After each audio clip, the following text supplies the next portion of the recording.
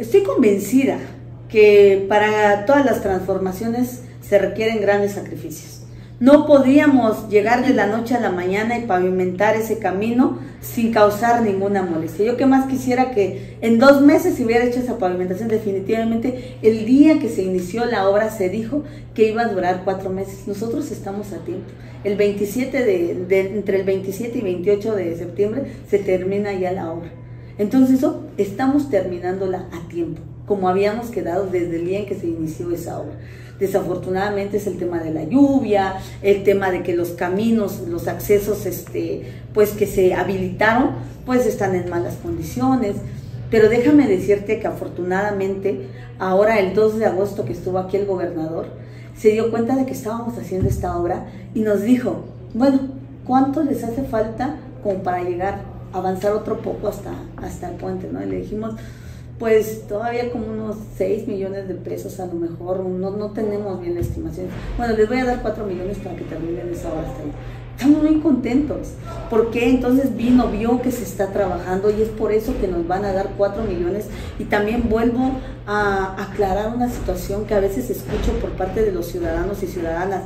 Ahora que viene el gobernador, él eh, dijo que se van a invertir 23 millones de pesos en San Lorenzo Capotepec. Créeme que pues todos los que saben y los que no, les déjenme decirles, no significa que trajo los 23 millones de pesos y que me los dio y ahora usted aplíquenos. No, no, no. los aplica en diferentes dependencias y estas dependencias, uno tiene que seguir con la gestión, uno tiene que, cumplir con ciertos requisitos y de esa manera puede uno acceder al recurso.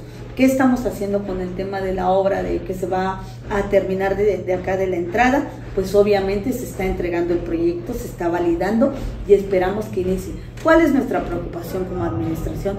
Pues que una vez que inicie vamos a volver a tapar el camino vamos a volver a tapar el camino porque vamos a iniciar con esa obra. Pero de verdad yo le pido a todos los ciudadanos, a las ciudadanas de San Lorenzo y Cacautepec, que entiendan esta parte. Todo el trabajo que se está haciendo es para la mejora de la población. Es para que si ahorita estamos sacrificando nueve, ocho, cuatro meses, entiendan que es para que en un futuro tanto nuestros hijos, nuestros nietos, nosotros tengamos mejores accesos a la comunidad. La comunidad de San Lorenzo Cacotepec tiene un gran crecimiento. Y muchos otros me dicen, ¿y qué pasa con el camino a San Felipe? Por supuesto que el camino a San Felipe es una prioridad.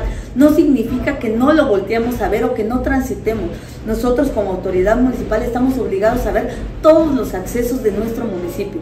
Pero desafortunadamente no hay un presupuesto que nos pueda alcanzar para poder continuar con todas estas obras que por supuesto que todas son necesarias. Si hablamos en, en obras específicamente, el camino a San Felipe, en septiembre vamos a iniciar la construcción de la clínica, la cual ya hemos logrado a través de gestión. ¿Cuál es el compromiso de gobierno del Estado? El compromiso es, ustedes hagan la infraestructura, nosotros vamos a hacer el equipamiento. Casi se va a ir en la mitad y la mitad. Estamos hablando que el gobierno del Estado más o menos tiene una inversión de 12 millones de pesos en esa clínica.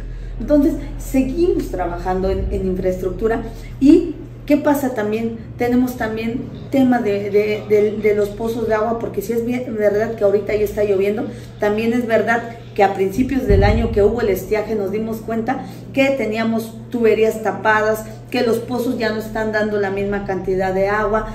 Tenemos grandes retos en materia de infraestructura, pero que tratamos poco a poco de solucionar.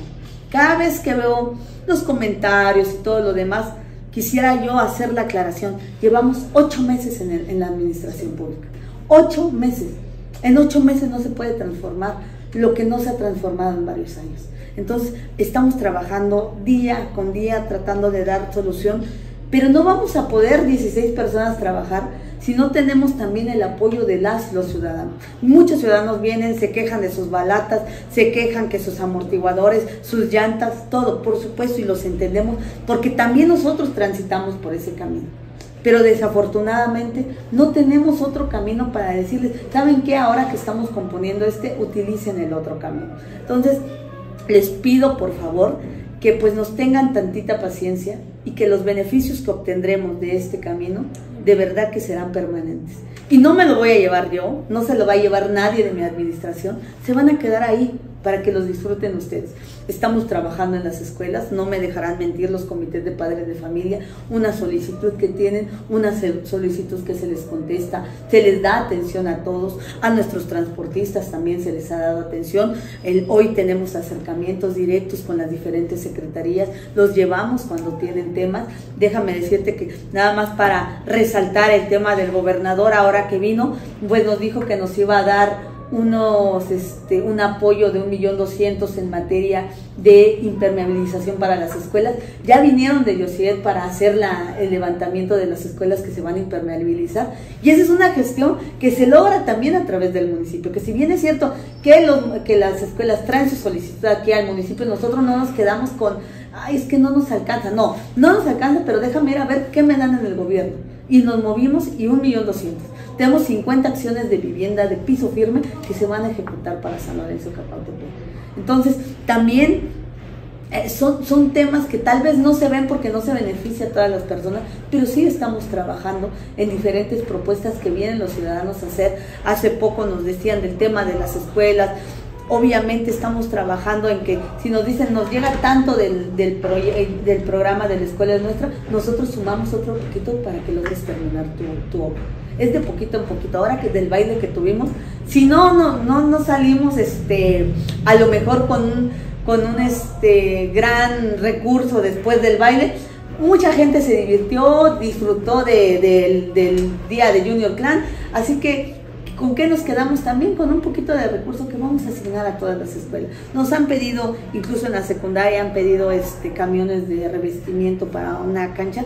Ya se les mandaron los camiones. Tratamos de los parajes muy puntual que nos piden esto, este, a lo mejor eh, apoyarlo con rastreos. Lo estamos haciendo. Hemos estado haciendo tequios. Hemos trabajado en estos ocho meses con la finalidad de que al final nuestro trabajo hable por nosotros siempre.